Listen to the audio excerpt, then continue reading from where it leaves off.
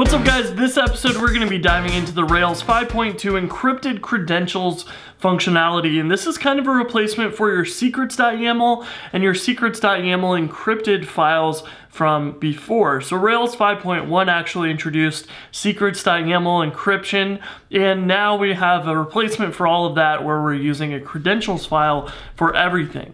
So this is going to be an important thing that you'll probably want to upgrade to as you migrate to Rails 5.2 but basically you're going to have this credentials.yaml.encrypted file and a master key file in your config folder.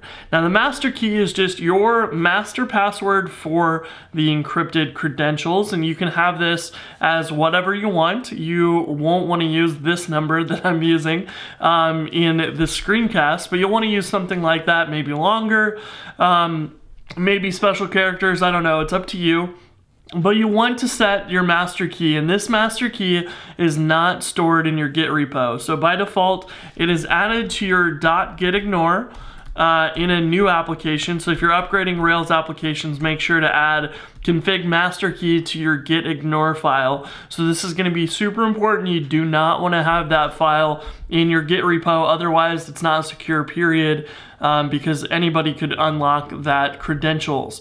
So your credentials.yaml file is now going to be encrypted. You won't be able to read this by default and you'll have to use a command in your terminal to go ahead and unlock this. So it's pretty straightforward. What you want to do is you want to say editor equals, if you're using Atom, you want to do dash dash wait or Visual Studio Code, you want to do code dash dash wait. You can also use Sublime or whatever else in here. I'm going to use MacVim, which takes a dash F command.